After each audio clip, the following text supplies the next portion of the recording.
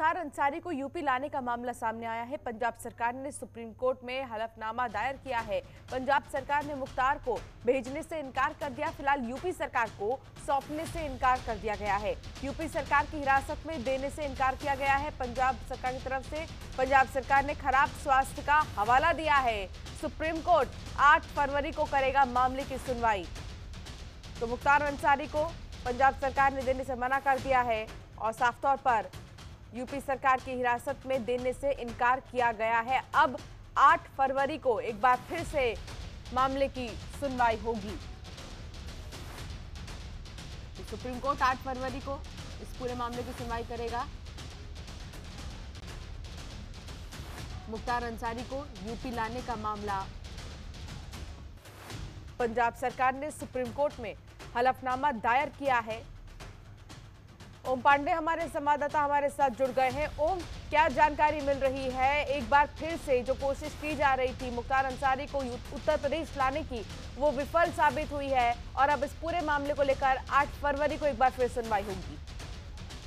आपको बता दूँ, पंजाब सरकार में रूपनगर जेल में मुख्तार अंसारी, माफिया विधायक मुख्तार अंसारी जिस तरह से बंद हैं ऐसे में ये मामला सुप्रीम कोर्ट गया था और इस मामले पर लगातार जो सुनवाई हो रही थी, क्योंकि उत्तर प्रदेश की पुलिस जो है पंजाब जेल गई थी रूपनगर जेल गई थी और वहाँ पर मुख्तार अंसारी को लाने की बात कही जा रही थी। यूपी सरकार लगातार जिस तरह से उनके ऊपर आरोप है, उस आधार पर यूपी लाना चाह रही है और यहाँ पे सुनवाई करना चाह रही है।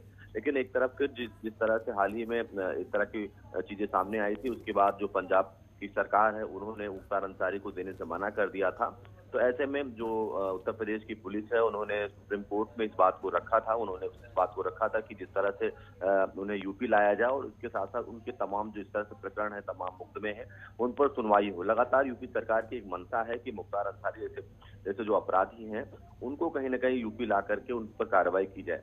लेकिन दूसरी तरफ़ पंजाब सरकार ने भी साफ़ हम्म। तौर से उनके स्वास्थ्य का हवाला देते हुए उन्हें यूपी लाने से मना कर दिया है और यही कारण है कि जब इस मामले को लेकर सुप्रीम कोर्ट में दोनों सरकारें दोनों तरफ़ दोनों पक्षों के जो सरकार के अहम अधिकारी हैं वो मौजूद थे तो साफ़ तौर से कोर्ट ने इस बात को कहा था कि इसमें पंजाब सरकार जो है इसमें अपना हलफनामा दे तो कहीं ना कहीं पंजाब सरकार ने अपना हलफनामा हम्म। सुप्रीम कोर्ट को सौंप दिया है लेकिन साफ़ तौर से इस हलफनामे में जिस तरह से पंजाब सरकार ने कहा है खराब स्वास्थ्य के कारण उन्हें नहीं भेजा जा, भेजा जा सकता। मधुमेह तमाम जैसी बीमारियाँ उनके उनके उनको हम्म। हो चुकी हैं और ऐसे में उन्हें सौंपना उचित नहीं होगा। हम्म, हम्म। ऐसा लगातार पंजाब सरकार के द्वारा कहा जा रहा है। इस मामले को लेकर जी बिल्कुल और आठ फरवरी को ये देखना होगा ओम की आखिर क्या कुछ पूरे मामले में सुनवाई की जाती है। बहुत शुक्रिया आपका इस तमाम जानकारी के लिए।